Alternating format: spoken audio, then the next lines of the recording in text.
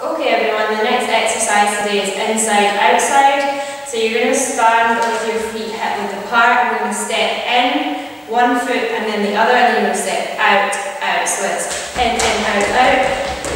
And you want to do it as fast as you can. But if it's a, it's a little bit complicated, then you can go nice and slow. So we step in, in, out, out.